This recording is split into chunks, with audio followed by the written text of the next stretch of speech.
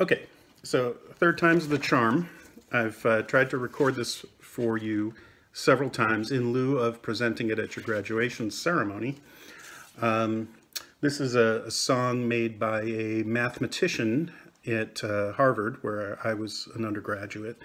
Um, and uh, his name is Tom Lehrer. And he, uh, he wrote a number of humorous anecdotal songs uh, about the times that he lived in, which were the 60s. But uh, one song, um, drawing on music from uh, a Gilbert and Sullivan operetta, uh, is simply an arrangement of the elements in a musical order.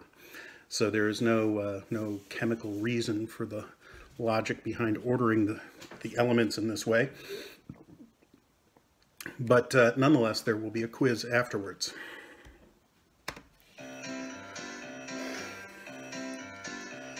There's antimony, arsenic, aluminum, selenium, and hydrogen, and oxygen, and nitrogen, and rhenium, and nickel, neodymium, neptunium, germanium, and iron, americium, ruthenium, uranium, europium, zirconium, lutetium, vanadium, and lanthanum, and osmium, and acetine, and radium, and golden protactinium, and indium, and gallium, iodine, and thorium, and thulium, and thallium.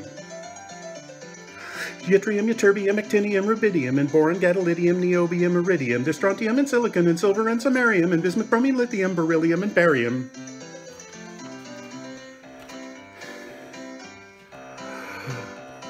There's holmium and helium and hafnium and erbium and phosphorus and francium and fluorine and terbium and manganese and mercury, molybdenum, magnesium, dysprosium and scandium and cerium and cesium, lead, praseodymium and platinum, plutonium, palladium and promethium, potassium, polonium and tantalum, technetium, titanium, tellurium, cadmium and calcium and chromium and curium.